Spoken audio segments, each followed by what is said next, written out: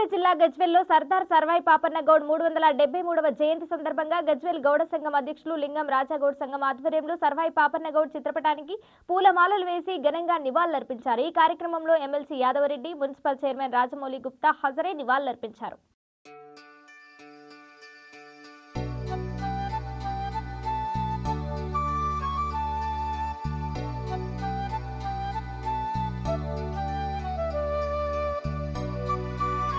విప్లవీరుడు సర్దార్ పాపన్న గౌడ్ మూడు వందల డెబ్బై మూడవ బర్త్డే సందర్భంగా ఈరోజు గజీపట్నంలో గౌరవంగా మధ్య ఆధ్వర్యంలో మేమందరం కలిసి వర్ధంతి ఘనంగా జరగడం జరిగింది.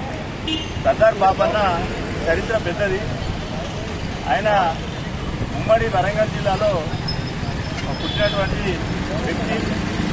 రజాకాలంతో కొట్లాడి ఆయన మన గోల్కొండ కిలా మీద జెండా ఎగిరేసిన వ్యక్తి కాబట్టి ఆయనకు చెప్పడం పోతే ఇంకా చాలా ఉన్నాయి చెప్పవలసినవి. కాబట్టి ఈరోజు మా సర్దార్ పాపన్న గారికి జవాబులు అర్పిస్తూ నివాళులు అర్పిస్తూ. పాపన్న జయంతి మూడు వం- మూడు వందల డెబ్బై మూడు జయంతి.